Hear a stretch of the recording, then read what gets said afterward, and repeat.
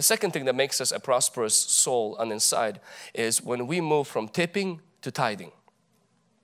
That means when we put God as the Lord of our finances.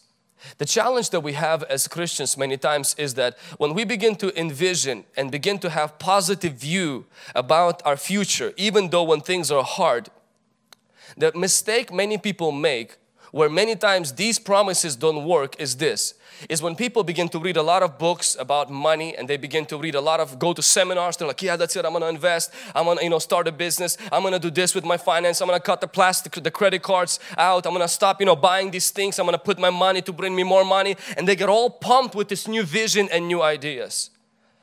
But they never make it to step number two. It's when you think that putting yourself in charge of your finances will make you a prosperous person and not allowing the God who gave you the very brains which can fathom those ideas to be the first and your best partner. Many of us, we accept Jesus into our heart as our Savior, but we will never accept Him as the Lord in the area of our finances. Because accepting Jesus as the Lord in the area of your finances cannot be done verbally and cannot be done with saying a prayer. It can only be done by an act of actually putting Him first in your finances, not your mouth, but your finances. And then God begins to be in charge of the rest of the things. Same thing happened to Bartimaeus. When he got his vision, the first thing that he did, surprisingly, he didn't go back home. Look for his parents or look for his brothers and sisters and say, guys, I can see. Surprisingly, Bartimaeus didn't go to a library and quickly started typing his resume. He didn't go and start to start write a book so he can become a bestseller and he can quickly make money. The Bible says the first thing when he got his vision, he didn't run after money. He said, I'm gonna run after Jesus.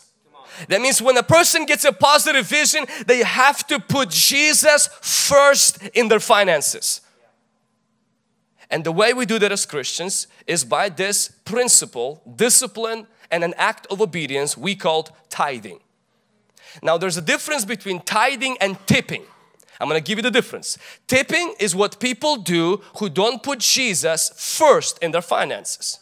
Now some are still Christian and some are still going to heaven, but tipping is this. It's whatever I have extra or I don't need or left over, I hand it over to God. That's tipping.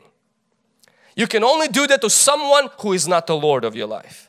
Tithing is not extra left over. I'll see at the end of the month, whatever's in my wallet, how I feel it. Tithing is this when a check comes in, you go to the bank or it gets deposited, 10% gets immediately pulled out without even second thoughts, put into an envelope, sealed, and you don't even entertain one thought.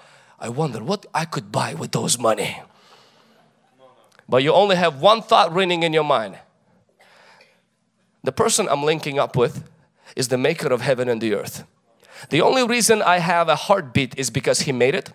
The only reason I'm able to give that because He gave me that opportunity and He is not a taker. He has so much He doesn't need my money but I need His mercy and blessing on the rest of the 90%. He's watching this. He knows this. I'm making a deal. I'm not an idiot. I'm a smart person. I want to partner with the richest, the wisest and most generous and I choose to partner with Him.